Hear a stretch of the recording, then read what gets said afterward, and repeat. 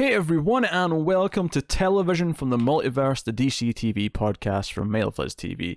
I am Peter, and for the first time, I think, since this show started, I am on my own because Connor is on vacation, and as a result of that, this week's episode is a solo affair where I will be talking to you about Supergirl, Batwoman, The Flash, and Arrow from this past week. And we'll try and make heads or tails of some of the weird things that happened, or whether or not they were good or bad, and we'll see if they weren't mostly bad again this week, which is a bit of a trend, unfortunately, the last few weeks. But uh, that's the plan. That's what we're going to do, and we're going to start with uh, with Supergirl. Um, oh, that's it. I never actually checked if there was any any real news. Actually, there was one thing that I did see uh, just before. Actually, uh, Batwoman has been uh, picked up for the back nine. So uh, much like we kind of assumed uh, Batwoman is actually going to be a full 22, 23 episode season. Uh, back nine implies 22 specifically, so um, yeah, so that's that's not a half show, half season show like Black Lightning or Legends of Tomorrow. That is going to be a straight full uh, 22 episoder, uh, which makes sense given that it's kind of the, the the real replacement for Arrow, even though Arrow might be getting an actual spin off as well. So um, but yeah, I'm not going to waste any time this week. I'm just going to go straight into it because I, I have no one to banter with. So let's talk about Supergirl. Season 5, Episode 3. It's called Blurred Lines. So Supergirl this week had Kara face a dilemma where she wanted to be a good friend to Lena. She wanted to prove that she was she was loyal and that they were still the best of friends. Uh, she overcompensates a little bit by going to pick up all of her favorite food from around the world. She gets her scones from Ireland, which is probably a little wink wink because uh, that's where the actress is from. Um, uh, Lena's the actress, obviously. I don't mean Melissa Benoist. Um, and they also give you um, what was it? Like it was coffee from Milan and uh, something else from somewhere else. But it was, you know, it was a list of things from around the world. Uh, and this is something we've seen in other shows. I remember Clark picking up Chinese food from China and Lois and Clark in like one of the first couple episodes. So, but the big thing is, is that Lena starts talking about uh, what she needs to complete her research because she's researching things about about helping people and some such and she's wanting to and the only thing that would give her answers is the stuff that lex wrote in these journals but that's been confiscated with everything else it's in security under lock and key and this is where like she's properly being a Luthor. She's clearly manipulating her into suggesting that Supergirl, uh, you know, that Kara as Supergirl go and break in and get these journals because she can. She has the power to do so. Uh, and Kara's like, yeah, I mean, why don't I just get them for you? And Lena's like, no, I can't ask you to do that.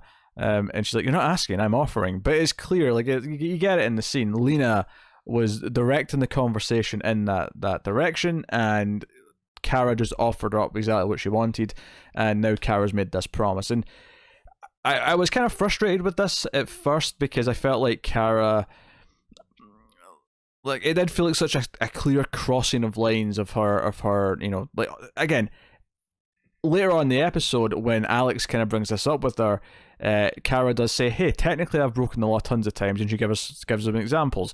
But as Alex points out, all those examples are kind of with a really good intention. They're they're all things to to save someone or save something or or whatever. This is just for the personal gain of one person. You're going to break into a building and uh, a highly secure building at that. And but I'll give it some credit because I actually liked that Supergirl did actually struggle with this this thing. I liked it when she brought it up again with Alex later. She was actually regretting making that promise. That she she was she regretted offering that because she realized after she said it that hey, that's maybe actually something that I shouldn't do. that's something that doesn't feel very Supergirl or Superman like, right? And so it wasn't spectacularly written, but at the very least, I appreciated that the character did have some second thoughts about it. And even though she does ultimately decide to go through with it, based on you know a speech that James gives to her about you know him showing up to help Supergirl, like, oh, if my friend's in need, I'm going to show up and help. And that's kind of like inadvertently he kind of guilts her into doing it. He doesn't know that she's even considering this, but she ends up doing it and you know part of the, the the cheesy music montage at the end which is every episode this season's had so far. And again i'm pretty sure most episodes have it anyway but i'm really noticing it this season for some reason. And i don't know if it's just because enough is enough and it's starting to bug me or if it's because it's actually more consistently being used. But yeah we had the cheesy piano music playing as the montage played out at the end. Uh, but she does go through with it. She does steal these journals, which gives Lena what she needs, which is uh, how to. it literally comes up after after decoding the the journals. It comes up saying how to manipulate Q waves to to achieve mind control or something to that effect by, by Lex Luthor. Like I like how he put by Lex Luthor in his own journal. Um, so again, it's this idea that she she seems to have kind of noble intentions, but we're looking at mind control, and even earlier on when a uh, Teschmacher, who's now you know the the AI, is saying, "Hey, like." asking what to do and whatnot and Lena's complaining because she's been doing some testing and she can uh, she can control the mind potentially, or she can, or or whatever. Like all our tests point to being able to take control of the mind, but she doesn't want to do that. At least not completely. And Teschmacher's like, yeah, you don't want to control everyone, you just want to make them better. But it's that kind of thing where it still sounds bad. Like it still sounds like you're just going in and being a dictator and changing people. It actually makes, you know what, it reminds me a lot of a certain thing that was revealed in the movie Serenity based on Firefly and how a certain thing happened. Uh, the, the intentions that led to a really bad thing kind of started with this idea of making people better through some sort of subtle control. Um, so that, that made me think of that, and you know, I always like to bring that up because it's from Joss Whedon, the creator of the hit television show Buffy the Vampire Slayer. And isn't that nice? If you're watching the video version, you'll see that I've got a photo of Firefly in Connor's usual box, and Firefly does not look anywhere nearly as judgmental at me when when I make a Buffy reference, so that's that's nice. And where's that old scamp? He's behind the computer monitor right now uh, at the time of recording. So that was kind of the Supergirl Lena stuff. Um, Lena feels very villainous, uh, and even if she turns out to not be that villainous, or she tries to have some redemption, if she genuinely believes that what she's doing is right right now, uh, she's not a she's you know she she's not at the very least morally very dubious because what she is doing is straight up wrong, and it's under this guise of doing it for the right reasons. But what she's looking at and the potential tech that she'd be using is very intrusive and invasive, and it's kind of thing where if she does believe she's doing the right thing, I still can't get behind her as a good character right now. And not that I think I'm necessarily supposed to, but I know a lot of people really like to stick up for Lena and say that she's nah, she's she's she's, she's good deep down and yada yada yada.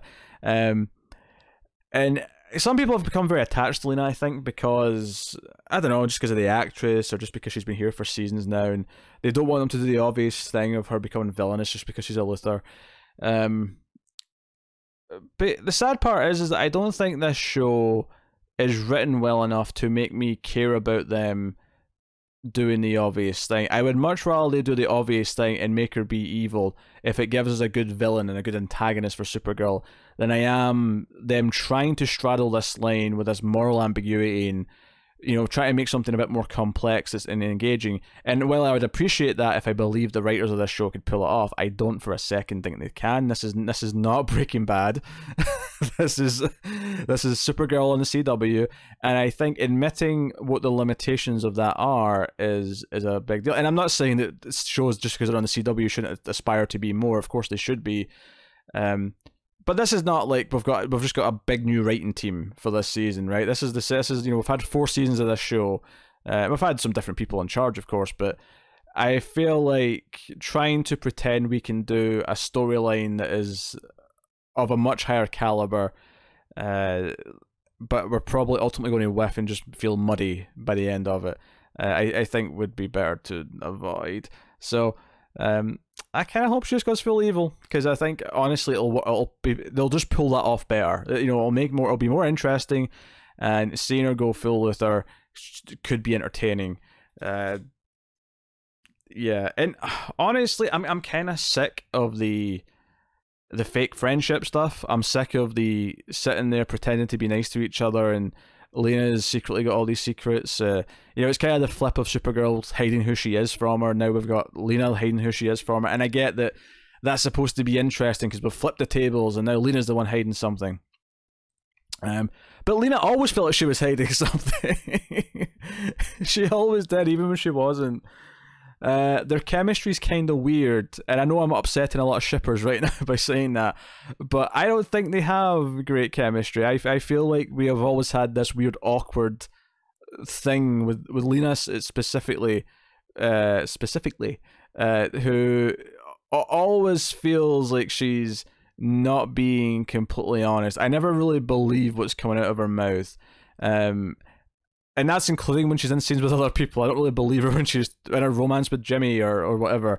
I never really believe anything she's doing. I always feel like she's got an ulterior motive. She just has the delivery that make that sells that to me. Um, so just make her evil. I don't think she's interested enough to to not just make her evil. Uh, I feel like making her an arch nemesis, but one that sticks around and is never necessarily the season big bad, but is always kind of around as an antagonist, kind of like Lex is supposed to be with Superman, would actually be something that Supergirl would maybe benefit from, and it would actually go with her delivery of all of her lines, maybe.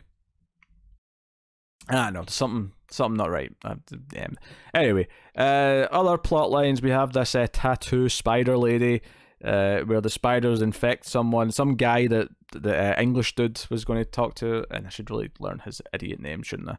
Uh, William William Dey is his name. I, I honestly I would never have guessed that in a million years. Uh, William Dey is uh, trying to talk to this dude at a club at the start, and uh, our monster of the week, our villain of the week, uh, sort of seduces him, takes him out of the bathroom, and a spider tattoo sort of comes to life and goes into his body, and he kind of dies. I will say that the editing here was very weird for me. It felt like this happened far too quick. They're, they're literally kissing for a second, and it happens. It didn't feel like it was paced properly, but I mean, I guess they just had they were running maybe short on time for the episode, and this was where they felt they could cut a couple of seconds, uh, and so they did. So I, I guess that's just just uh, just it, it felt it felt quick cut so quick that it was ineffective in any way. Not not that it would have been super effective because it's just a typical monster of the week uh, kills its victim at the start kind of thing.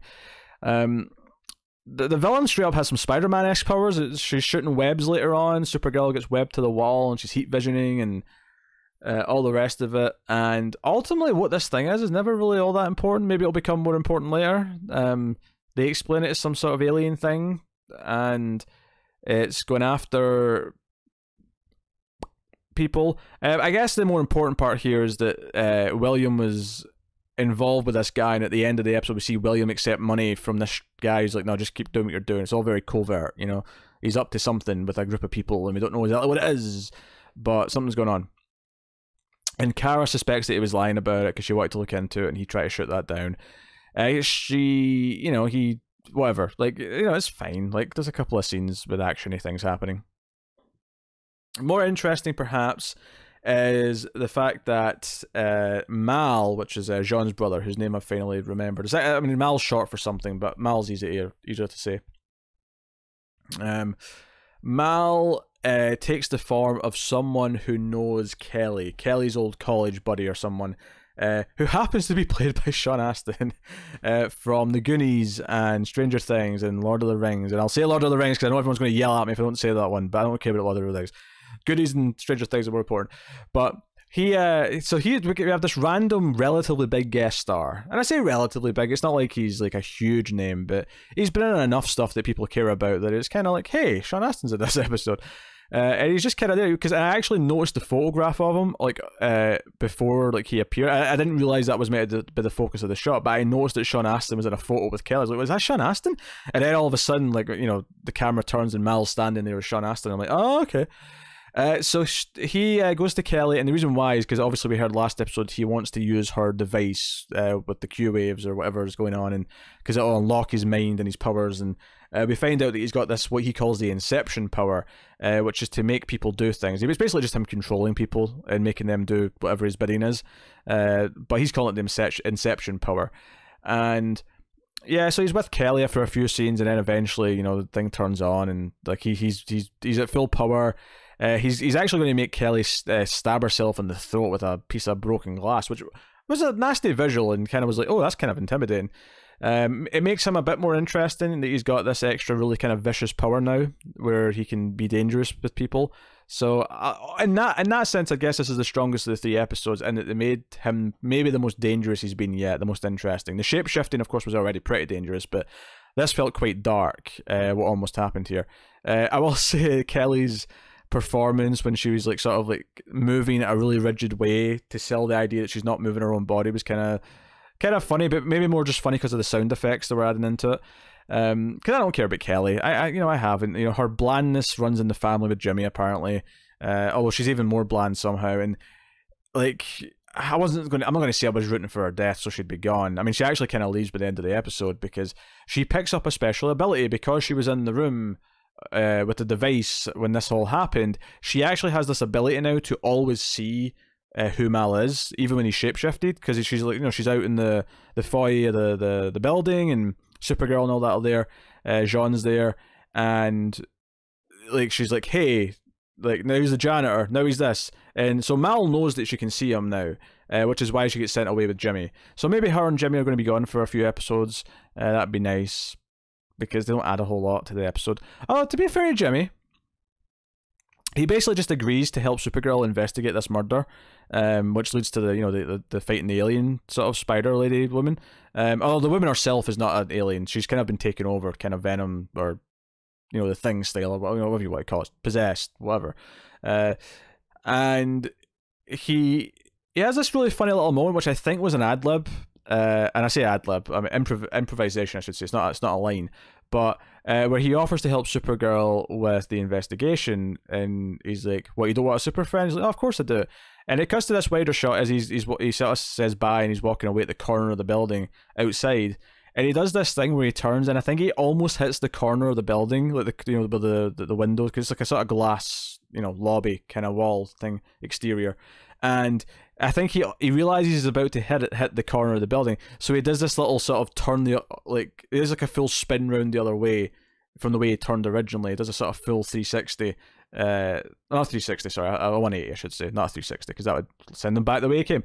No, he does like a, a 180 round the opposite spin, so he sort of spins to his uh, his left, realizes he's going to hit the corner, and then sort of smiles like a sort of goofball and sort of spins around the other way and walks. But it just it play, it played nice enough, and I think the reason why it played nice enough is because I don't think it was in the script. I think this was just a moment they captured because he intent you know, uh, not intentionally. Uh, he he genuinely was going to walk into the building and just kind of improvise to get around it and played it off as a cute little oh I'm a goofball kind of moment, and it actually felt more like Jimmy Olsen than he ever usually feels uh, which is kind of funny.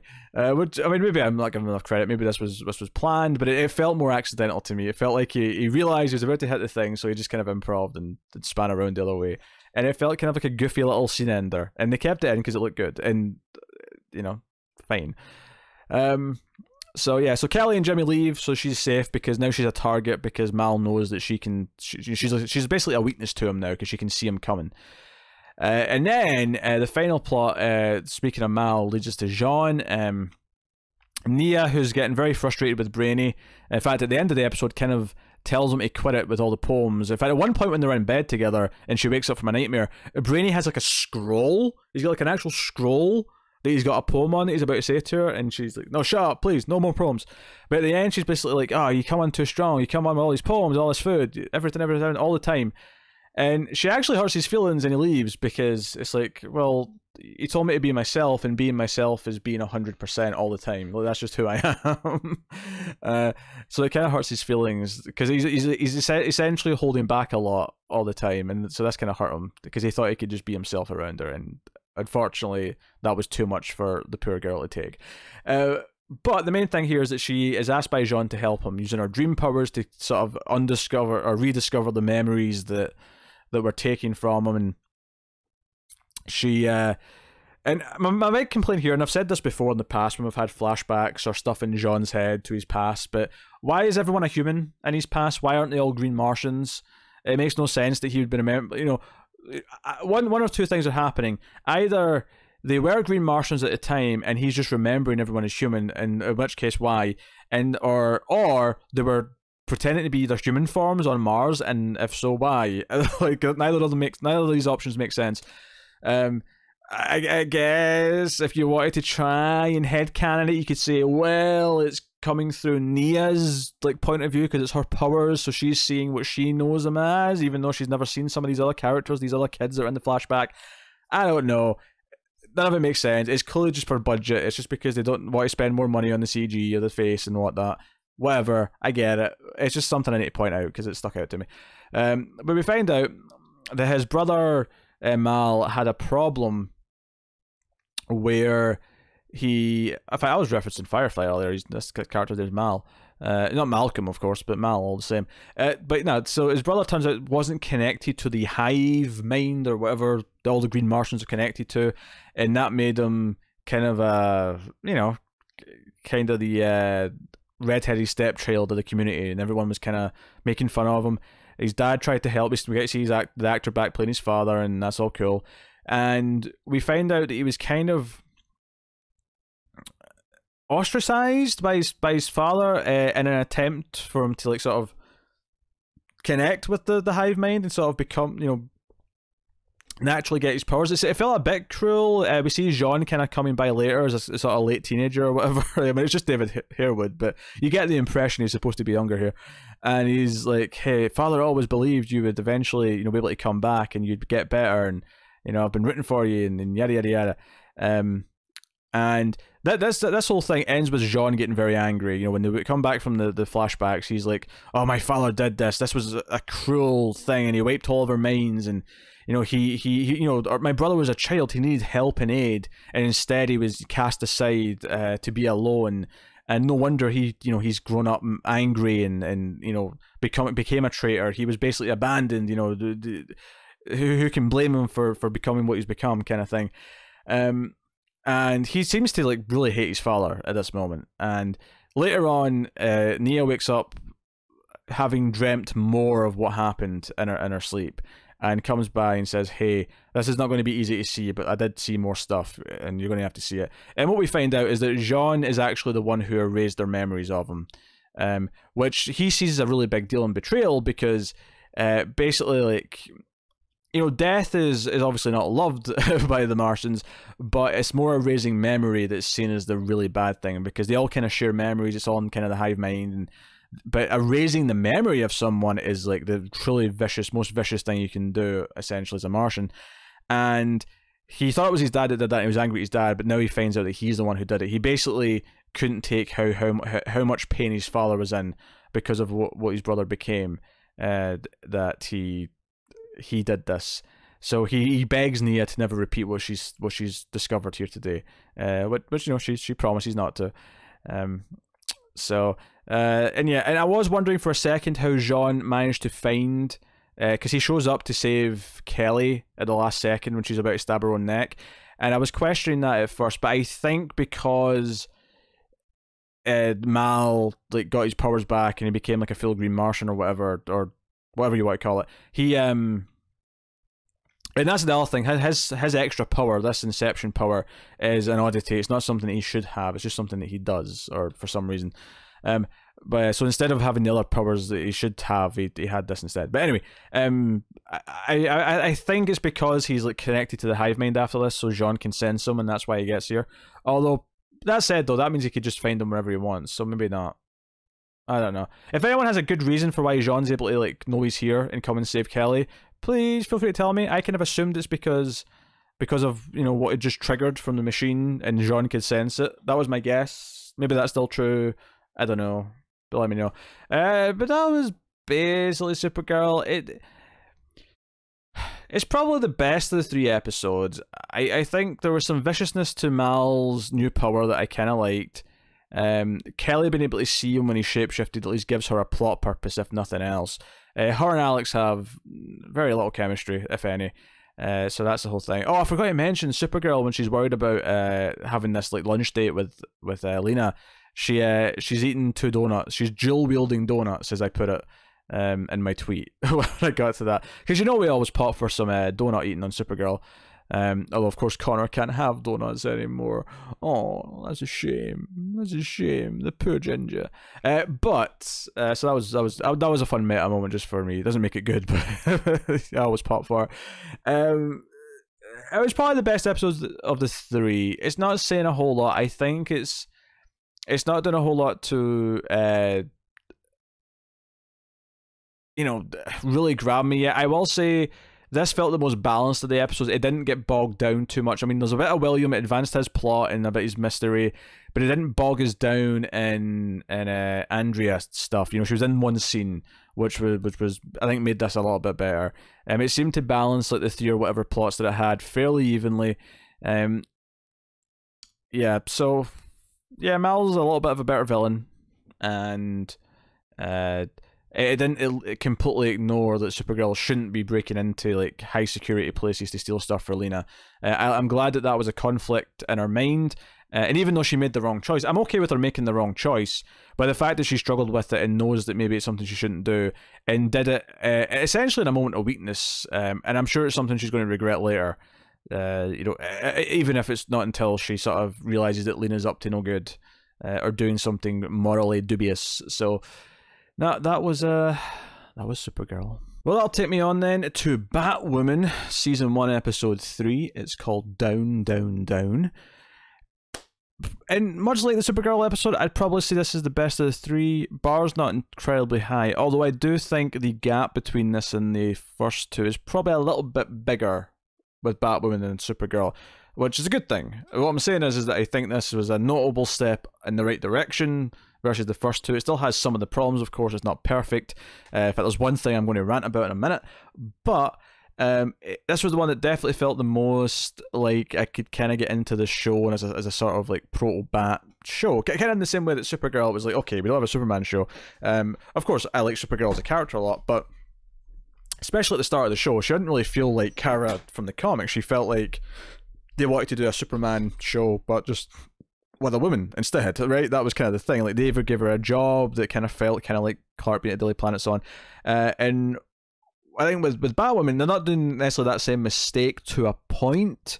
Um, you know, they're not trying to make Kate too much like Bruce, which is nice. I like that at the very least. Um, does she feel like Kate from the comics? Um, a little bit, not not like not as like perfect, but it's sort of thing where it could easily sort of squeeze into that quite comfortably, probably without without too much effort. But um, but what I'm saying is, is that I think the rise to Kate actually deciding to put on a suit and being like her own identity, being the Batwoman instead of just being Batman. Not that she names herself, uh, at least in this episode. I mean, technically Sophie names her, but like no one hears her say it, so it's not like. I mean, I guess it'll just catch on because it sounds the best.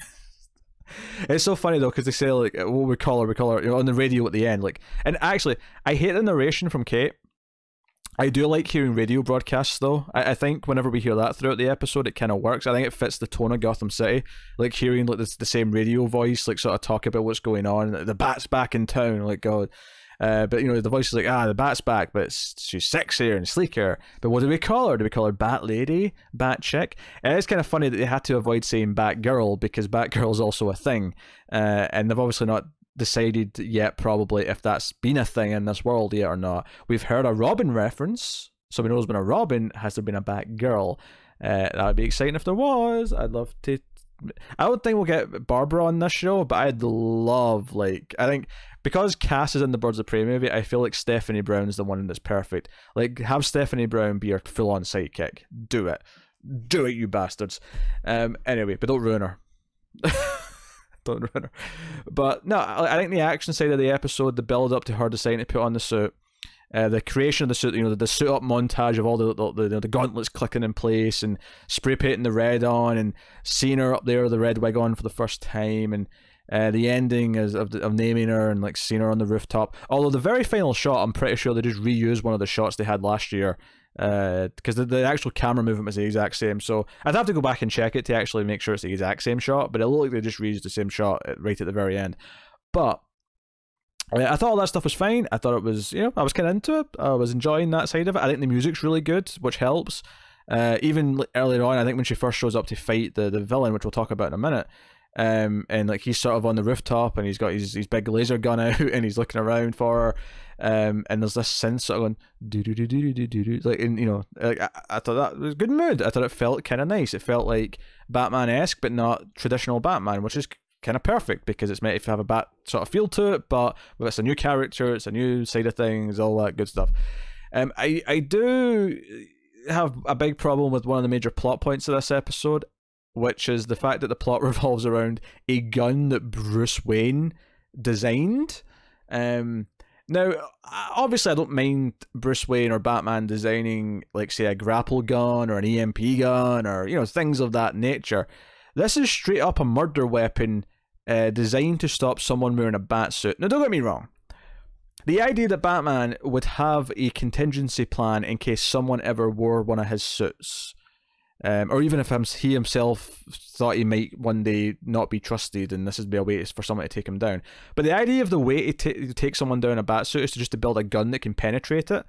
Because uh, we get this demonstration from Luke, who you know shoots a regular gun at the bat suit and it just kind of bounces off. There's not even a dent. Um, you know, and I like that Kate said it stings though, because she did get shot last episode, uh, or was it the first episode? It was you know, one of the two episodes. Uh, so that was a nice bit of continuity. But like, he then pulls out this laser gun thing and says, "Now this is designed to like go through the bat suit," and it's just like, yeah, but Batman shouldn't want to kill whoever whoever's wearing it. Batman should want to just incapacitate them because he's Batman. I, I, I mean, are we really going to do the whole thing where Batman in this universe just happily killed people? Because I will not be on board with that. I hate it. Don't do it. Um, so the fact that the plot revolves around that, I don't like. But that aside, um, nah, I mean, I mostly get into it. They have Tommy Elliot here, uh, who runs like a uh security thing. Not not the same as the crows. He like runs like community housing that's like got guarded communities and like security guards but he's a big client of the crows and um he's not too bad as far as characterization of the character from the comics. Obviously He's from a very big comic book storyline for Batman. Uh, I won't say which one because it spoils who he is, uh, who he becomes, rather. But I will say that the whole idea of his jealousy of Bruce Wayne, uh, being mad that his mother was saved by Batman because it meant he had to put up with her for for years, uh, rather than just collect his inheritance. Uh, but instead, he had to like help someone who was who was who was disabled. He had to like care for her, and he's he's kind of a dick about it and feels resentful over it that that lines up with who he is without doing his exact story. Because it's, it's not exactly what happened but it's in line with the kind of thing. They've also shifted the timeline. And in the comics like him and bruce are about the same age uh, and they knew each other as kids um and you know the, the idea that batman saved his mother um around the same time that he saved you know or didn't or failed to save kate's you know mother and sister is a definite shift in you know Batman's already operating and Tommy's obviously still a kid, so they're not the same age in this at all. Um, but you know the characterization and his attitude and all that stuff is interesting. Let's not also gloss over the fact that he said because he knows Bruce Wayne's Batman, and you get that right away because he assumes Bruce is back in town, and he just sort of has this look when he looks at Kate like this because Batman's back in town. I know Bruce is back. Um, obviously, we know that he's not really back. It's actually her that's been wearing the suit. Blah blah blah but he says that I paid someone to riddle me the answer, and I'm like, oh, okay, we're we're teasing a riddler uh, of some sort. Okay, cool, cool, cool, cool. Um, I was into it as a reference. Uh, so yeah, the, the whole plot is that you know he's actually stolen this weapon from uh, the Wayne, you know, science department or whatever, and Kate's essentially figured out that it's him and he has a reason to want it and so on. And she goes to this fundraiser party that he's throwing on his own building. It's really high up. And she, you know, she notes at one point, like, oh, you get a nice view of Wayne Tower. But notably, it's looking down at Wayne Tower. It's taller. It's looking down at it. And, you know, it's, again, it's his ego. So I'm okay, that fits with his character. I'm, I'm into that. I'm into that stuff. And it makes me wonder if we're going, because he's going to Arkham at the end, you know, they, they arrest him. And I'm, I'm wondering, like, are we going to go down the path of what he becomes? Like, we, is he going to end up being able to do a thing, and that means that he can be this thing? and again, I'm avoiding spoilers here for, for anyone doesn't know. But those of you who, who know Tom, who Tommy is, you know what I'm getting at. Like, will he become that in this show? I would say possibly, uh, even probably. Uh, because I made a point of introducing them, and I don't see them using the name and then not having him come back later as uh, the fully formed character. So Especially if we cast someone else first as well. I'll leave it there. I don't want to say anymore. But uh, so I actually kind of like what this becomes when he's basically backed into a corner uh, and confronted by her. He's essentially turns into Dennis Hopper from Speed. Uh, you know, if you think of the opening 20 minutes of Speed, where Dennis Hopper's holding like people in elevators for ransom, he's got all of his elevators in the building sort of rigged to explode and like drop and he like kills an elevator full of people to sort of prove his point and then like we have two other elevators. One has Kate's father and stepmother in it, who, were trying to escape at the time for reasons in a B plot, which I'll get to. And the other one has uh, Mary, her stepsister, and Sophie and Sophie's husband. Uh, so and we have like all this going on. So this is kind of the big inspiration for Kate to go back to look and be like, okay, I need to be able to do something on my own. Blah blah. I need to be able to take him. The only problem I have here really is that Luke, for some reason, like, and this is not even this scene. It's like earlier on when he's talking to her in the cave. He says to her that the city's behind you, Kate, and that includes me. And I'm like, really? I don't feel like there's been a moment where you've turned here. It felt out of nowhere that he's all of a sudden supporting her, the idea of her putting on a suit. Um, I'm okay with him having that turn. It just felt a bit sudden and like just here it is. You know, we're going to have a moment where he sees that she's doing good and he kind of smiles and says, "You know what? I'm going to be this woman's Alfred or this woman's Lucius Fox. If maybe that's a better comparison. I'm going to be a bit of both." Um, but you know, they make the suit and she goes up, and like I say, I like the scene where Tommy's like sort of sneaking around the roof and sort of not seeing her, and we get again some very speed things where the the the elevator's going down and she like has to like grapple it and try and hold it up because the, the actual elevator cables are gone and all the rest of it. It's set up early on as a gadget that's like a sort of two way grapple that goes on either side. Um, I do kind of like that they're setting up some various gadgets, especially if she uses them every so often. Like, did we get the uh, the various gadgets that he introduced us to back in the last episode? Um, again, do we get this double grapple thing again? Like, you know, hopefully they kind of remember these and they don't just disappear. Um, so that was that, and I I'll tell you one thing that worked for me a little bit better here as well is there was a lot of little character things that definitely was better. There was some stuff that didn't work for me as well. There's a scene earlier on where Sophie's like training with her husband and they're in like a it almost felt like a scene from Krypton where they're like combating with gloves on and there's like people standing around and they're in this mat in a really dark room. But as they're fighting and sparring and practicing, um, she's having flashbacks to the scenes from episodes one and two where she tells Kate to move on. And this was a really tedious like minute or so because it's like we just saw we just seen all these these moments in the last two episodes. They are not that old, and it just felt like we were wasting time.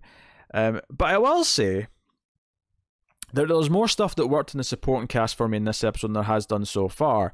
I think Mary was definitely always the most likable out of these characters, and I actually did a bit of research this week to remind myself who, if any of these characters. So Sophie was based on the character in the comics. I confirmed that this week because I was curious, and then Mary seems to be a character as well from the comics. She's not usually Kate's stepsister, but she actually is a character who wanted to become like the Flame Bird to go along with uh, Kate's Batwoman uh, as part of Batman's team in the Detective Comics uh, during Rebirth, which was only a couple of years ago and Kate was basically like, "No, go and like finish like you know college and post grad, and you know after that, you know, you've got your life sort of sorted.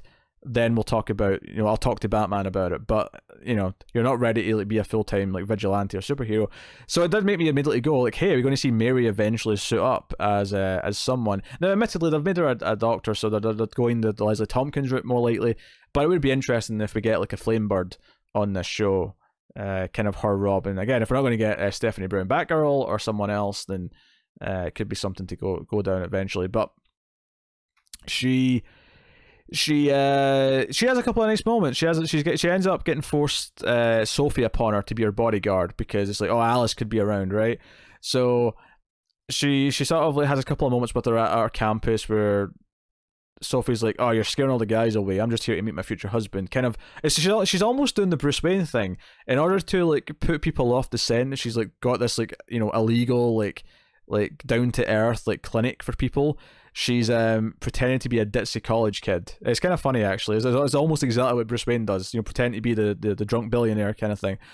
Um, but there's actually a couple of funny moments with those these two later in the episode, which made me like them both a little bit more. And I, I definitely like Mary more, and I always did. But I think I like they've both been up a little point, just a little bit for me, because uh, there's a moment in the elevator uh, when they're going up to the party, and Kate gets in the elevator, and there's a moment where, uh, like, Kate's like, "What's going on here?" and you know, Sophie's like, "Oh, I've been hired to protect or be a bodyguard or whatever," and Mary just kind of like looks over at Kate, and Kate just sort of mouths, "I'm sorry," and like, and and Mary's like, "I know," Like, like they're just kind of mouthing things at each other about how awkward this is, and I actually thought it was vaguely amusing.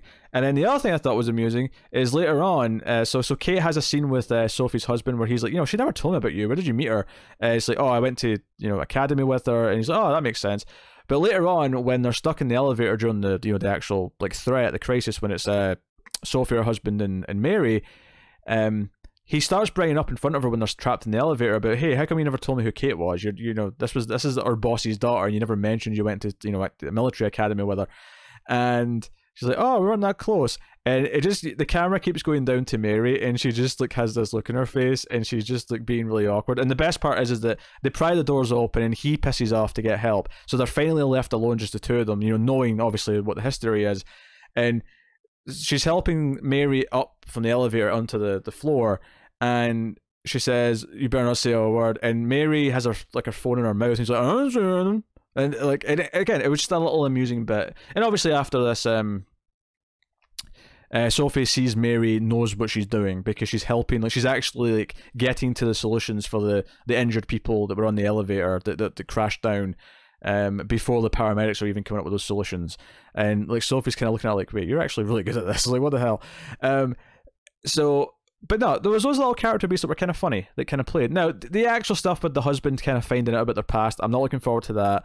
Um, Kate having like a weird flirtation with this bartender uh, who says she wants to give her a call at the end. Eh, you know, I wasn't really feeling much of that either, but it's, it's yeah, whatever. Like, but there was definitely some moments with these other characters that I actually kind of enjoyed in this episode, which is more than I can say, especially for Sophie. So Sophie's had the short end of the stick so far because all of her stuff has been about her backstory with Kate, and that's been some of the worst stuff. So that character's had nothing of value really up until this point for me.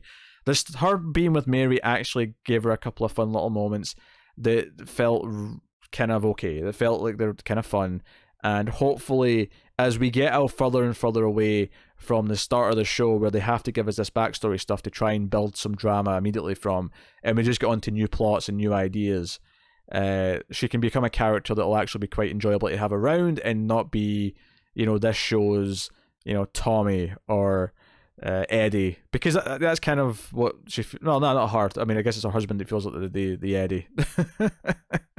she's the Tommy. No, she's. I mean, not really. She's more the Laura. like all these comparisons to other shows, like she's a kind of a combination of these other characters that ultimately felt worthless um, they never really get past their opening, like the start of the show's point for them. Like, it wouldn't surprise me if Sophie does die by the end of the season because I, I don't know what purpose she might have beyond just the initial drama of what she means to Kate. But these little moments made me think, oh, maybe there is stuff we could do with her. She could be a likable character outside of this. I mean, Mary definitely has a future. Mary has some interesting stuff going on. And again, Mary, like, going back to her, like disguising what she does, like she comes back from the clinic and she puts on like a fancy dress as if she's been out partying all night. And you know that's what that's when uh, Sophie first runs into her. So you know, moments are okay. Um, so that's fine. Um, obviously, the one thing I've not touched spoke about, uh, spoke talked, spoke, spoke, talked. You know what I'm trying to say? Is uh, Alice? Is Alice is part of this episode where she comes to see Kate, or in fact, no, she puts on the bat signal. It makes Kate show up, who shows up in just civic clothes, and they have this talk. And Kate's like, "I want my sister back," and um, and so on and so on. And Alice, uh, what does she say to her? Something like, something, something about um giving her a chance or something. But anyway, Kate says if you don't kill anyone uh, in 24 hours, I'll reassess, like, you know, what, what I do with you, kind of thing. And she's like, oh, you're going to be so annoying. And again, I think Alice came off a little bit better for me in this episode. She's not necessarily feeling like the comic book version of her character by any means, but I thought she was a bit more fun in this. And I think I almost do feel like the obviously there's still, still some problems with the show. There's some CW elements. You know, Ruby Rose isn't like the best actor in the world. Uh, but she has the physical presence when she's Batwoman, which is which is good. It's, it's, a, it's, a, big part of the role, of course. But I do think that there's a lot of pilotitis, which actually extended beyond the pilot and into the second episode, and there's still some of it here. And I think because this is the one where she gets her red, you know, hair and like logo, and she decides to be Batwoman, like it kind of feels like the first three episodes are kind of one big pilot in a weird way. And I think this is definitely the strongest of the three, and I think part of that is not just because those Batwoman moments are, are pretty decent, uh, but it's because I think I think the elevator plot uh, from an action point of view is kind of fun. I think Tommy Elliot's an alright villain uh, who ties into Batman lore, which is fun for us as you know comic book fans. But I think Alice as well kind of comes across a little bit more interesting because it kind of sets up this idea of her being around And instead of being like you know this constant like trying to push her like the Joker, although she might become that uh, as time goes on, uh, there's this interesting relationship kind of forming between them where they can kind of meet up, but you know, you know, Alice breaks into her dad's apartment and kills this guard, and immediately goes, "Oh, Kate's going to be so disappointed." And you know, and when she calls up, uh, you know, Jacob Kane, and uh, she's playing the cello, and it's you know, it's her cello from Chilton. She's like, "Hey, you taught me to play, Dad," kind of thing.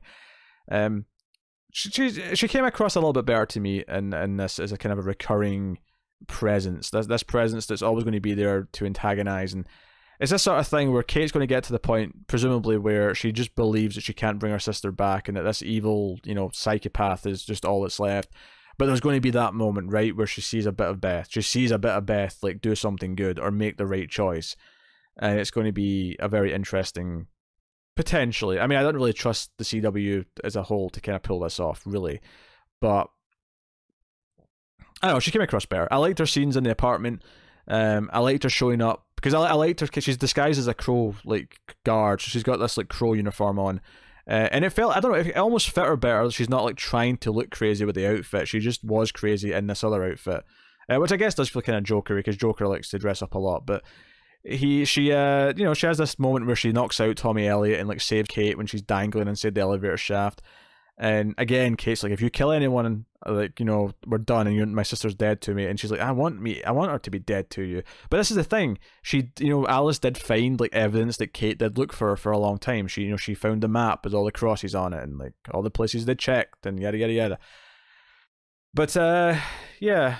So little does Kate know in this scene though she's already murdered someone else. Uh, it's kind of weird that she didn't find that out at any point in the episode. At least I don't think she did. I remember her finding out. Maybe she mentioned it in the scene. Maybe I'm just misremembering that part. But it was better. It was the best of the three. Um, not perfect yet by any means. Um, but you know, we don't rate these episodes out of ten, but I would say this one just about scraped like a you know, maybe a seven. You know, six point five seven. It kind of scraped to that rating, which I think is which is good. It's good that it can at least hit that. And maybe if we keep kind of finding their feet and you know settle into some some sort. And I think it's because it, again we're, we're kind of over the, the the introduction. I do think the the love triangle stuff do it does need to get sorted as quickly as humanly possible. Um, you know, Sophie looking as like Kate kind of makes a date with this other woman at the end, and like that, I just you know I don't really care. I just don't care.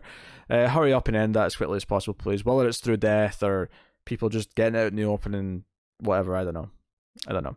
Uh, but Batwoman was better. So that's that's good. That's good. Uh, which does take us on to the Flash season six episode three. It's called Dead Man Running. Um, what, what, what even happened here? We had we had uh Rosso or Rosso Rosso Ramsey Rosso I just want to call him by his other name, but uh, they've not revealed it in the show yet. So, well, actually, did we say last week? I think we said Bloodwork. He's Bloodwork. Fine. He's Bloodwork. Anyway, he uh he ends up working with Barry on a case. Barry kind of catches him trying to steal dark matter at Star Labs, even though Frost told him not to trust him. And uh, he kind of can tell that Barry knows that he's going to die, just like him, just like his mother, and like he's facing it with bravery, and th- that's you know whatever. But you know, Iris and Barry agree not to tell the rest of the team that he's going to die, just to tell them about Crisis and what's going to have to happen and so on.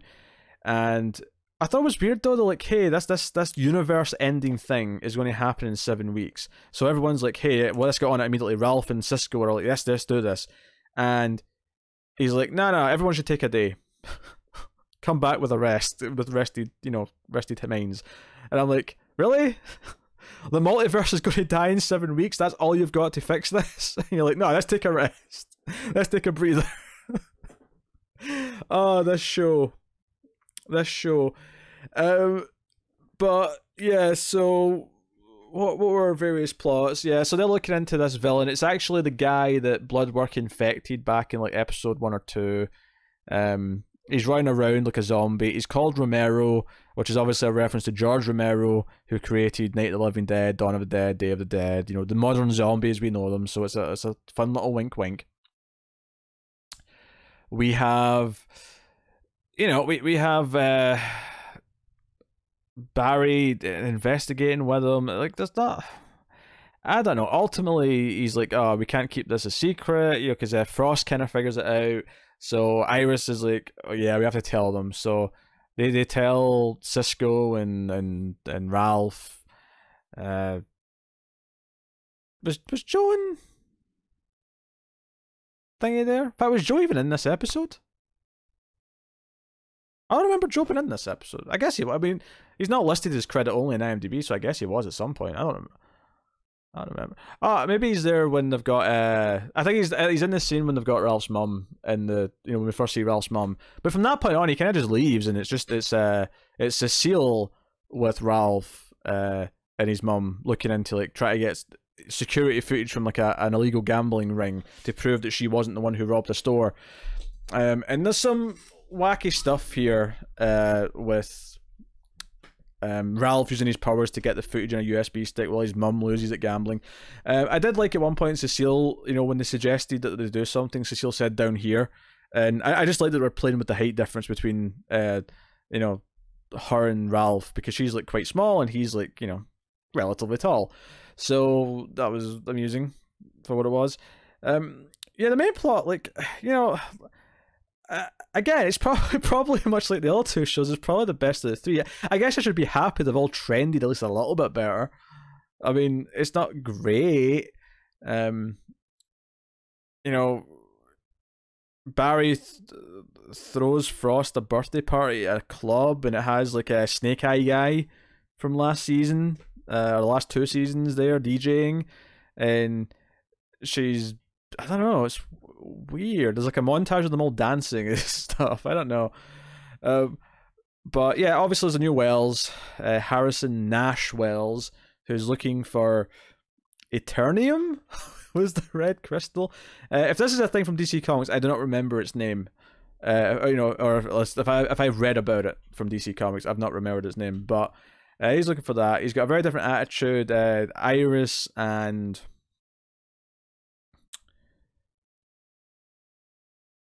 Who's with Iris? Cisco. Cisco's with Iris. Cisco and Iris go go and try and find him uh, because someone snaps a photo. Um, it's the new assistant actually who almost went to the Iron Heights, who gets really pissed when she sees this this uh, Wells character in the office and almost quits because she's like, ah, you know, I wanted you to be honest with me and you know, blah blah blah. And I was is is able to convince her to like, hey, just trust me, right? I I took a chance on you by hiring you. I'm asking you to take a chance on me and trust me for a bit. Uh, so this uh, Allegra character, like she's probably going to find out who everyone is in like three episodes time because the Flash can't hold that shit in anymore, uh, any way, shape, or form. But yeah, so I mean that stuff was fine, I guess. I it's um. I don't know, like the episode kind of it doesn't feel super distinct to me. There's a fun little subplot with with Ralph and his mom, although the drama it comes to at the end when it's about her lying to him about like this boyfriend being dead, and she's he's like, "Oh, you've been lying to me about everyone for years," and he's really pissed at her, but she's like, "Oh, I just want you to be happy and find love and do everything." Uh, it almost sounds like it's setting up for Ralph to leave the show this season if he's going to go find a wife or something, uh, which I hope he don't do because Ralph is consistently one of the more pleasant parts of the show. So please do not do that. That'd be nice. Uh, Bloodwork does uh, basically discover he doesn't need the dark matter. That he having some of uh, this uh, Romero's blood, he can control it. He can kind of like move it around. Uh, it's him just kind of getting to grips with his powers, and you know, evil afoot from there. I guess uh, is is I guess what we're getting to. In that right, Firefly. Yes. Hey, look, there's Firefly. He's on he's on both sides of the camera or both sides of the screen, rather I should say. Um, if you're watching the video version, if you watch, listen to the audio version, you don't care. You don't care. So, yeah, I don't know if I've got anything else to say about Flash. To be honest. All right, I had a quick look. So there's two things I want to mention. There's two things I want to mention. What just so the end of the uh the plot with the, the the Romero guy is that they actually trap him in the the tunnel right in one of the cells in the the thingamajig, and he actually breaks out. He just smashes the glass like it's nothing And then like Frost has a line about the cuffs not working on him. So they never really explain why, or you know, or even attempt to kind of bring up why he's kind of immune to all the meta dampening stuff. But he does. It does lead to a pretty glorious moment though, where they have to. Because this is the funny thing is that Barry has this thing. This was the other thing I wanted to mention. Is there's kind of a subplot running through the episode where Barry gets mad at Frost for not caring if she kills people because she kind of throws him out a window, the bad guy out a window at one point, and because he's like undead, he he gets up and just walks it off and doesn't care. But Barry's like, you didn't know that would happen before you threw him out the window, so you can't be reckless like that. You can't just be willing to murder people that carelessly. And you know, she kind of argues with him because Barry's basically this thing that he's going to use this seven weeks to prepare everyone to sort of protect the city without him. The idea that he's going to make sure they're all the best they can be, which is laughable because Barry being a teacher, as we've seen with Wally, as we've seen with uh, with Nora, is a terrible idea. He is garbage at it. Uh, Frost says as much at one point, and she's absolutely right. Um, he's trying to give all these lessons, and it never it's never really felt like he's learned them himself. He still feels just as like flip floppy on his morals and on what he believes and what his tactics are. Like episode to episode, if not like scene to scene, that it's kind of laughable that he tries to instill any of these these ideas in anyone. So that's kind of frustrating. Um, I was going to say it's kind of hypocritical that they have to kill him to beat him, but I, I, I suppose to be fair, by that point they've established that he's undead, that he is literally a zombie, so therefore he shouldn't care if they kill him. So you know, okay, and maybe that's why the the the, the meta dampeners don't work on him because he's dead. He's not technically a meta because he's a, he's not alive. that logic kind of works for me actually. Uh, yeah, you know what? Fine, fine. They never really go into that. They should have really explained that better, but you know, whatever. But yeah, he actually explodes. Um, now you don't get to see the actual explosion itself, but you do get to see a lot of the blood splatter coming away from the explosion. So it looks quite nasty anyway, even if you don't get to see the actual pop. Um, you get to see a lot of blood hit uh, Barry and Frost, who's not Caitlin. She's Frost the whole episode, which is interesting. Uh, she's more likable than Caitlin and is more interesting and funny. So you know what? Let's keep her around. That's fine. Um, again, it was probably the most interesting episode of the three so far. I think Wells, a new version of Wells being back, who's hunting something, um, and knows who the Council of Wells are because he, he's like, "Oh, those idiots!" Like, you know, he refers to them uh, when Cisco brings them up. So, you know, that's what it is. But yeah, I I thought I'd mention the the the, the end of the the Romero stuff, the the, blood plop plopping is plopping around. Um, but that will take me on to the final show we're going to talk about today, which is Arrow Season 8, Episode 2. It's called Welcome to Hong Kong. And sure enough, they're in Hong Kong.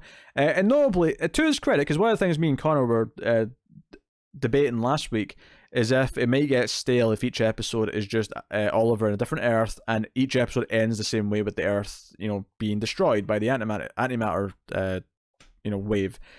And to his credit, it didn't do that at all, and there was no threat of it doing of it doing it this episode because this episode didn't take place on another Earth. It took place on Earth One. It took place on the the regular Earth because uh, we were in Hong Kong on or you know our normal Earth that Oliver came from, and uh, the monitor's pissed at Oliver for like saving uh, Laurel, and to an extent Diggle, although Diggle's not from the other Earth, so theoretically he should have been saved anyway. But um, he's like, no, I didn't kill them, they're around. And Laurel's pissed because she wants to go back to Earth too, and the the little doohickey, you know, that, that Diggle had isn't working anymore. She, so she actually separates from the group. She's not willing to accept that her universe is dead. And Diggle is understandably to Oliver like, hey, give her time. She's grieving and accepting this. She has to go through this process. And it's actually Lyla ends up showing up to help her uh, go to this tech guy uh, and makes him like fix it, and it still doesn't work.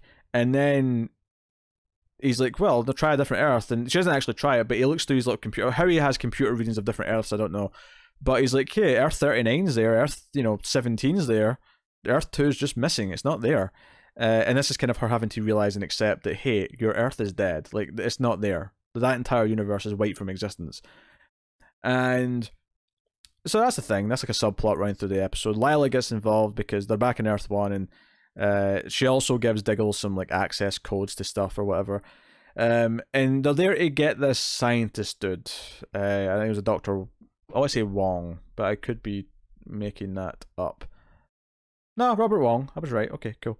Um, and they run into China White. Uh, Katana shows up to save them as well at one point. Uh, so so Katana's like on Team Arrow. Uh, you know, so her, Diggle, and uh, Oliver, you know, try to grab this guy. China White's going after him. Uh, it kind of devolves into this thing where uh, they actually steal this virus. It was the same virus that I think we had back uh, in the season with Hong Kong, um, if I remember right. Uh, but China White was trying to get that. Oliver ends up with it, but they have the the scientist. So Oliver sort of agrees to make a trade. Everyone's like, "No, this is like so, this is like a bio weapon. You can't give this to China White." So of course they're planning on like you know fighting her, and they do, and you know they, all, they all jump out at the last minute, and um, it actually looked for a second that Katana was going to die, and I I kind of believe she was going to die just purely because like, hey, it's the last season of Arrow. Is it likely that the other shows are ever going to use her? Maybe they're going to do a shock death here to you know give this last season some dark weight to it. You know, start killing off these like these recurring side characters that we've seen before. Um, she does get saved though. Uh, uh, Laurel, you know, Black Canary shows up and saves her at the the last second, and with a scream and the others, you know, do whatever. There's, there's actually like three or four good fights in this episode. They're not really long fights, but you know, even at the start of the episode, as soon as like Diggle shows up to where Oliver was talking to the monitor, it's like, hey, there's bad guys coming. It's just so random. Oh, there's bad guys in the hallway. but we have a little hallway fight that's okay. Oliver like power bombs a dude through like a not quite a table, but like through some stuff. And later on, there's scenes where they walk into like a room and they have some fights. So there's, there's some decent combat. Uh, it's, it's been kind of on point so far this season, uh, relative to what the show has been. Um, so the episode, like, it it wasn't as funny as last week's by any means, but honestly, I think Arrow because it's you know doing this sort of multiversal mission, and each episode is feeling a little bit distinct because it's having different characters in each episode. It's actually feeling like it's got a lot more, uh, you know, a much better pace and a lot more drive than it normally does. It's not like stretching the story out to twenty two episodes, and because of that, this episode felt like it had a simple thing. It has to get these, you know, this uh this virus sort of thing. Um, I will complain that Laurel at one point when she's mad says to uh Oliver, this was all your fault. If you never came to my Earth, you know, all of my people would never have died. And I'm like, nah, your Earth was going to be dead regardless. I'm, I'm fairly certain. Um, you know, that, that that's why I think the monitor was telling me hurry because it's like, hey, this Earth's dying like tomorrow, so get my damn dwarf star or whatever. Um, yeah, so so that that was the thing. Um, we find out that uh, Lyla is also working for the monitor. And uh, yeah, that's kind of weird at the end. And yeah, and she's like, "Hey, you, you sure this is like saving things? Oh, all will be all will be known in time." Blah blah blah blah. He's been all you know secretive as he does. Um, so that's worth mentioning for sure. You know, it, like, yeah, okay, fine. We'll see. We'll see how Lyla plays into things. Um, but for the record, like this is probably easily one of the best seasons of Arrow after only two episodes, just because it's not like it's not pandering or not pandering. That's not the right word. It is pandering in places, but it's it's not wasting time like it normally does. It's not great, but like it feels like it has a direction, and a drive, and because I'm excited for the crossover, everything feels like it's building up to that. Um, you know, everything feels more relevant than it normally does. Like normally, I just have no reason to care about Arrow, but everything this season feels like, oh no, this is going to be at least somewhat useful. With the exception, of course, of the flash forwards to Mia and her team, uh, which is basically just Connor goes to you know they go to this bar or whatever, and uh, JJ shows up, so we have this brother brother like conversation uh, the bad guys storm the base and get uh, William presumably hostage. And was there any more to it?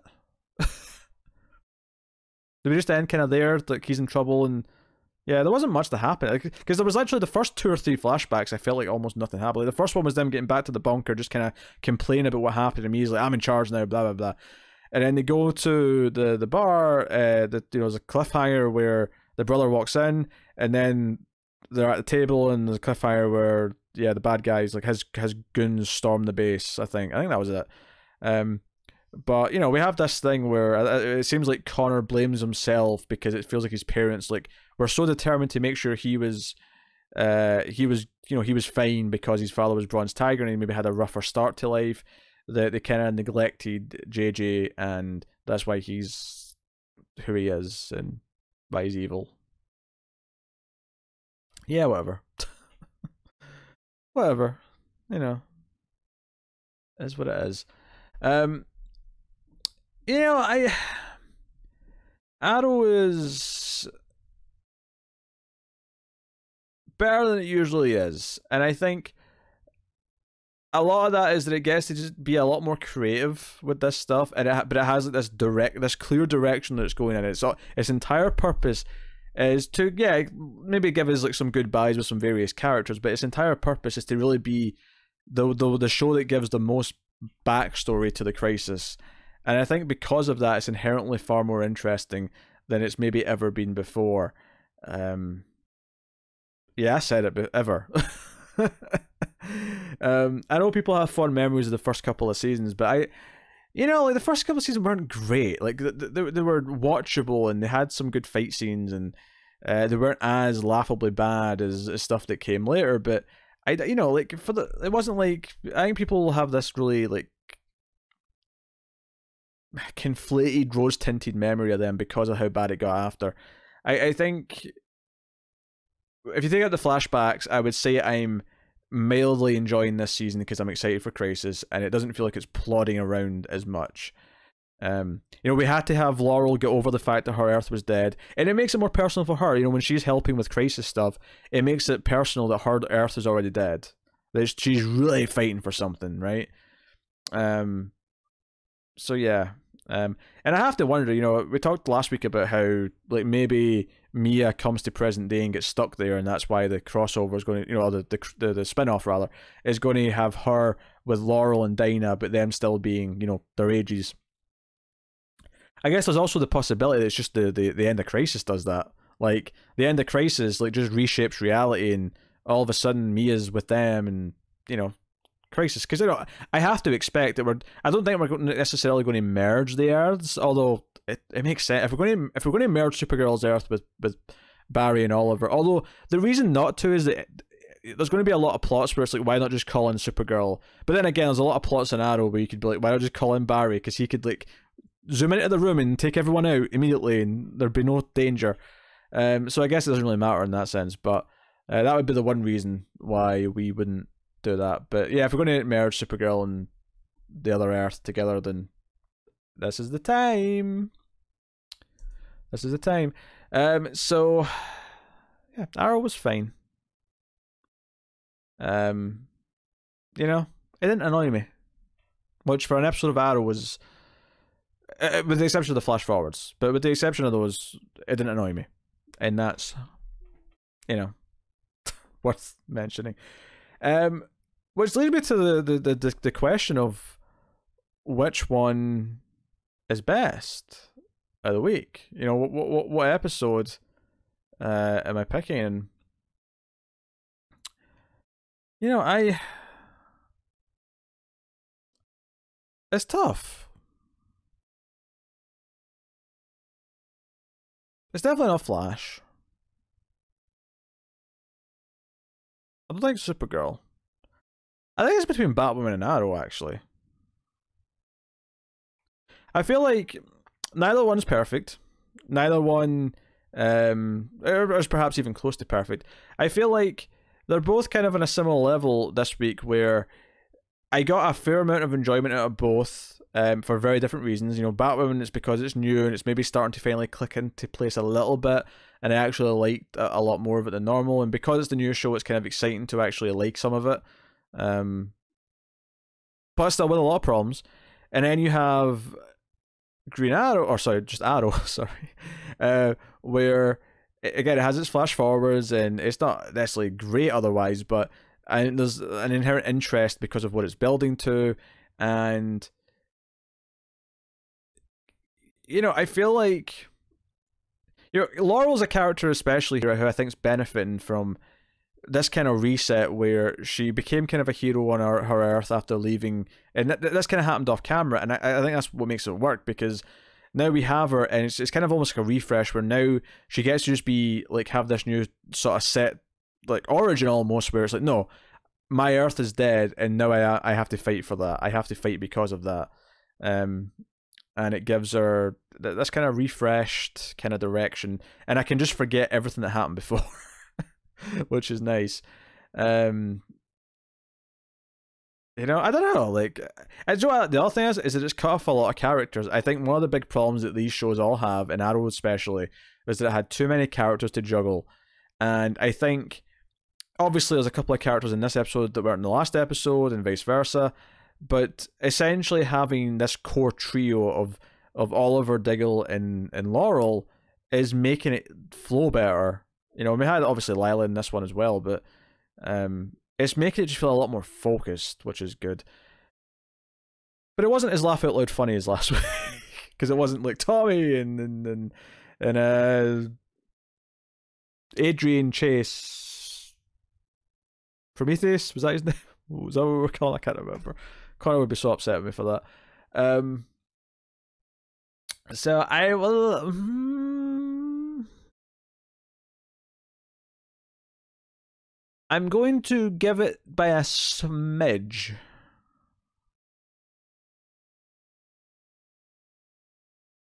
Just a smidge. To Batwoman. Just a smidge. And I, I think it's I think it's because it's just nicer to like some of that, I guess, because I'm going to like you know Arrow's ending. Like if I hated that right now, it'd be fine because it's almost over. Batwoman, I've got at least a, a, longer season, if not years and years of it to go. So if if that can show signs of improvement, I think that's more encouraging to me. But it's, it's kind of, you know, it's close. It's close. I will say this is definitely the best week for these shows since we came back. The bar's not super high. Um, I don't think anything's firing in all cylinders. Um, Although Arrow, compared to itself, is probably the closest to doing that. Um, but this was definitely a week where everything was at least a little bit better than the previous week. So if they can kind of continue that trend, and that's a dangerous hope to have. Although Batwoman arguably is the one that's the most likely to continue the trend because it's new and it's it's very possible this new team are just finding their their feet, and a lot of shows will improve in season one over the course of it. So you know, hopeful, hopeful. And Supergirl can be better than it is right now, so hopefully that does too. So, you know, hopefully things shake up. But uh, yeah, that's what I'll go with. I'll go with uh, Batwoman by just a hair, um, out of the optimism of it going in the right direction. But that is uh, that has been the episode of Television from the Multiverse. Uh, sorry, it's a little bit later this week. Um, fitting this in um, is almost weirdly harder when I don't have like a deadline with Connor to get it done by. It's just uh, it's hard uh, because I end up just devoting time to other things instead of watching the shows. So it took me a little bit longer to watch them. But um, here we are. Uh, show's done. Uh, we'll see you next week. Connor will be back. I'm sure he'll drop maybe some a couple of thoughts he had on these uh, when we do come back. And yes, um, there we go. So thank you for joining me. Uh, if you want to support uh, television from the multiverse and everything else that we do, you can do that over at patreon.com slash TV. You can support us for as little as $1 per month.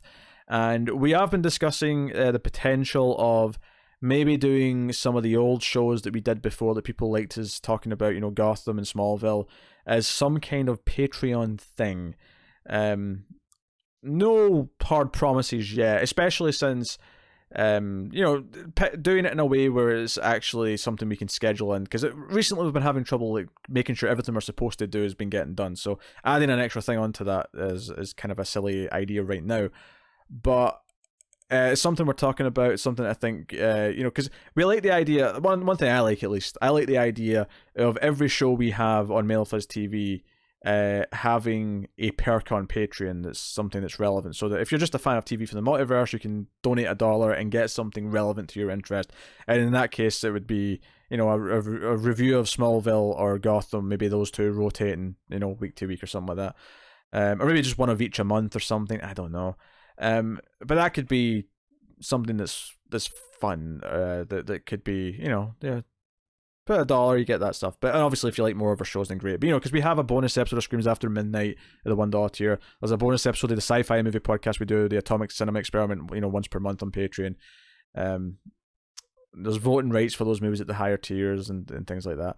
Uh, but yeah, so um, yeah, go to Patreon. You can support us uh, without paying us though uh, by rating the podcast on Apple Podcasts, giving us five stars. Helps more people find us.